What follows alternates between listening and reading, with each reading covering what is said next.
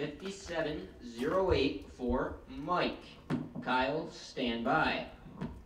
Attention, clear the track. The track's now clear from finish. Two start, one for Kyle.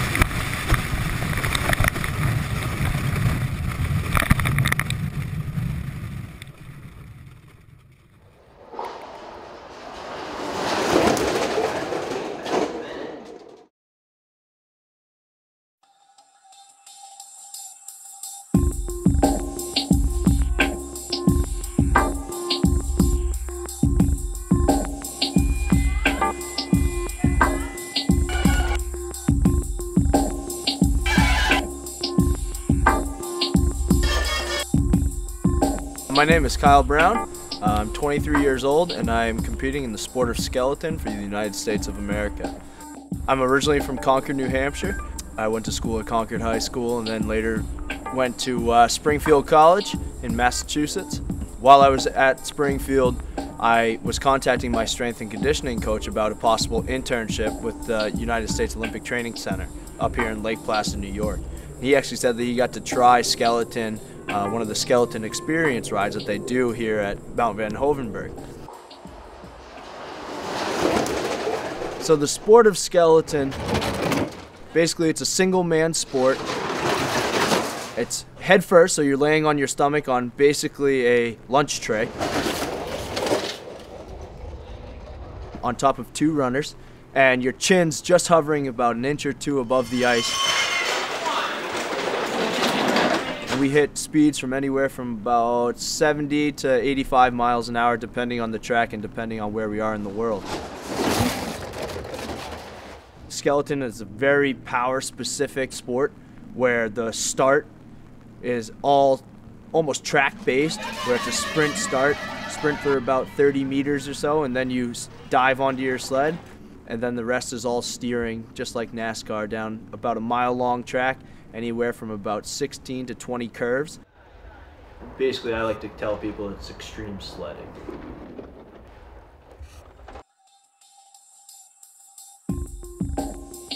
So this part of the sled is where we actually lay down. Um, our head is down on this end, our knees and feet are on this end. Uh, this is the saddle right here. This is what kind of keeps us on the sled. Um, what's kind of funny that I didn't really know at first when I got into the sport is where my hands were. Uh, when I first thought about the sport, I thought my hands were just down at my sides. Um, with this specific saddle, my hands are actually underneath my legs, holding onto these bars right here. So this is the bottom of our sled. Um, this is the bottom of our pod um, that's just above the ice. And these are the, probably the most important aspect of the sport, in my opinion, are the runners what we do is we'll sand these runners before races and uh, basically polish them up to get them as fast as we possibly can.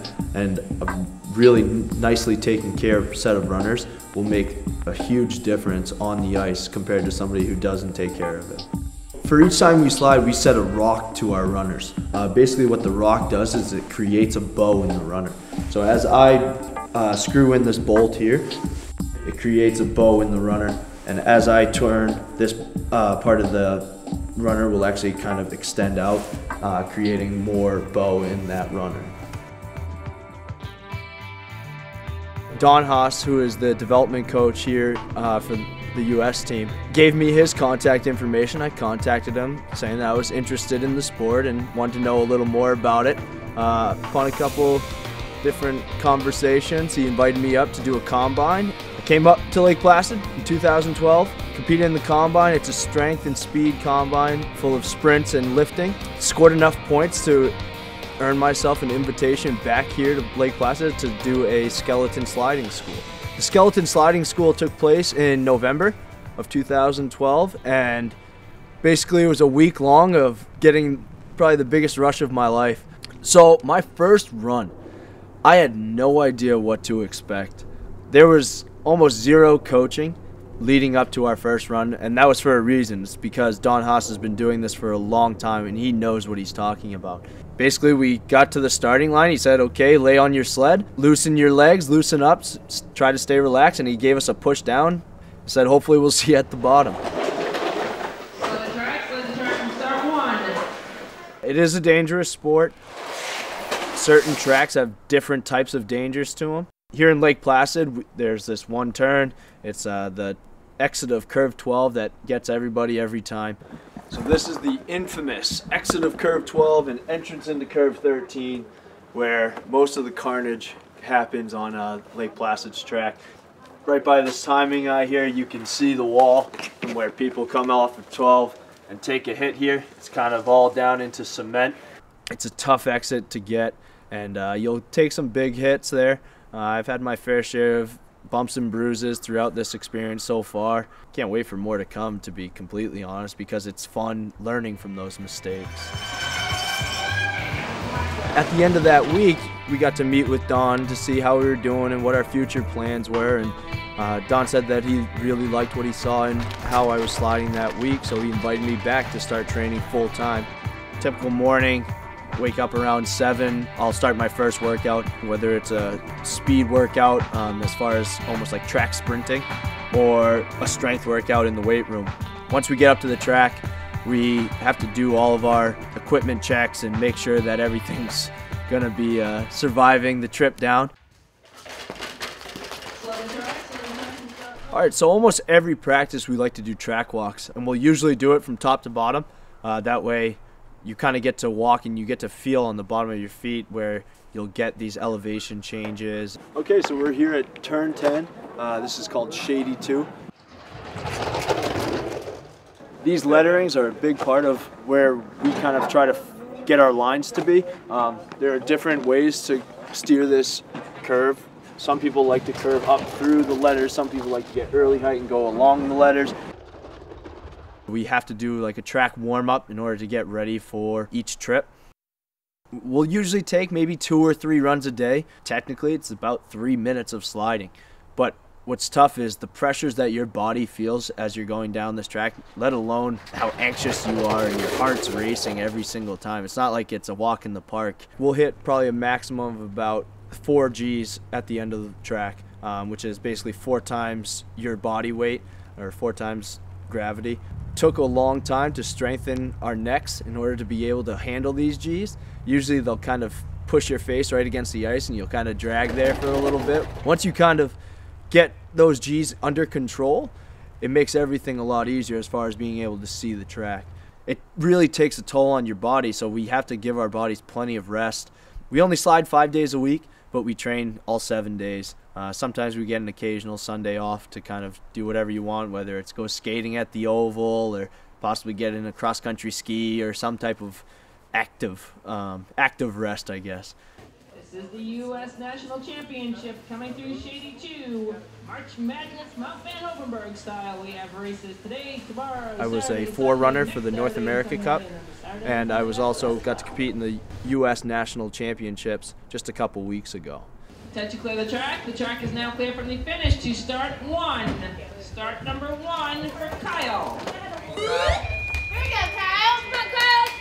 Good push. Come on. Nationals was a great experience. Being surrounded by the World Cup sliders definitely kind of increased my uh, anxiousness for it. So there's one section in the track where it's basically the make it or break it point. Um, it's called the Devil's Highway. Yeah, it starts at curve four and ends at curve seven.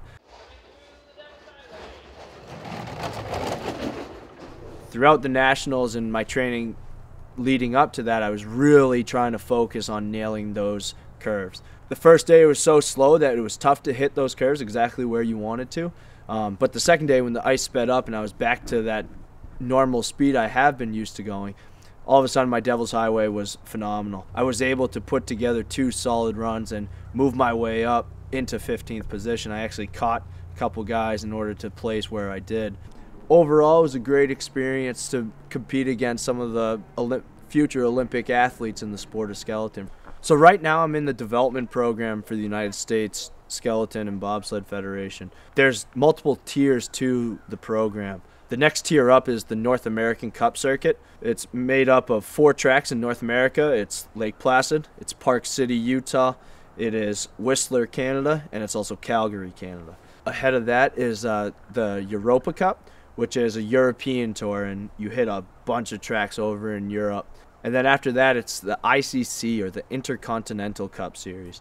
Uh, the ICC is done both here in North America and over in Europe. And then obviously you have the World Cup guys, which are the top three in the US.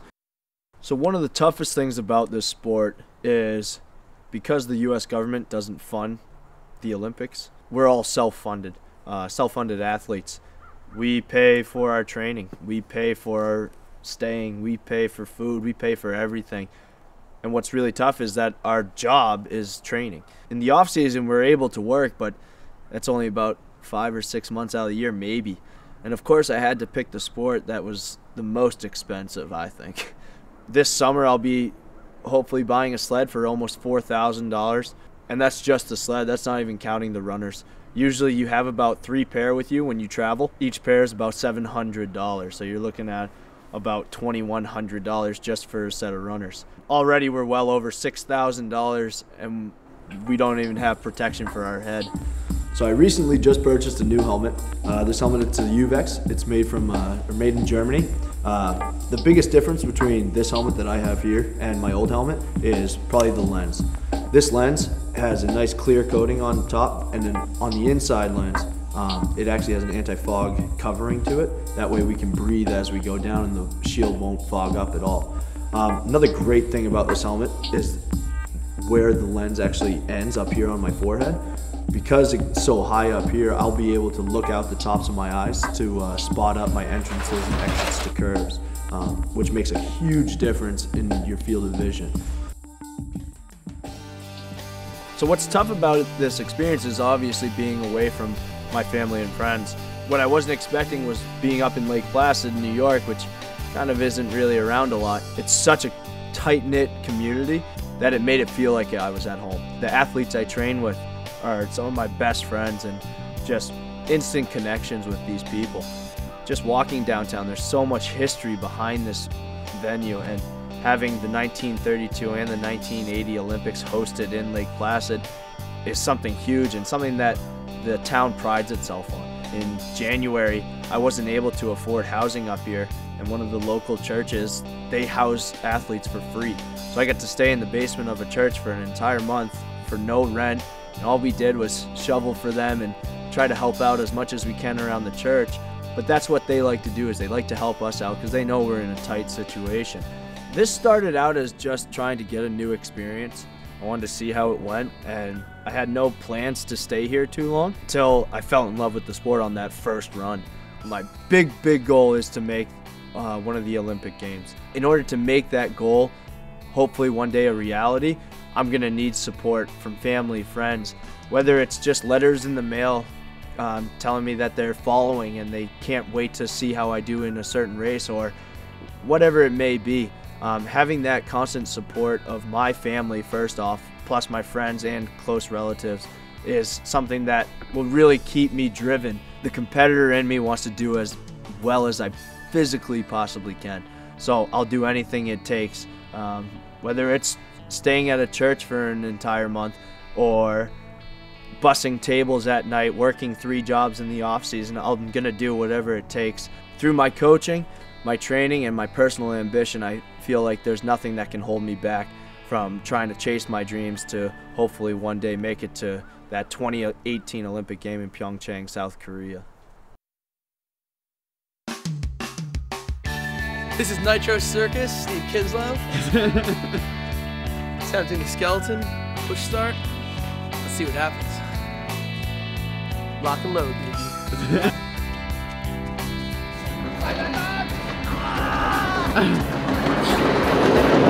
You're gonna do it like a skeleton. If you're gonna run with two hands, you gotta have your feet off to the side. So you're gonna run like this. A couple steps with one hand. See how? It's over. Okay.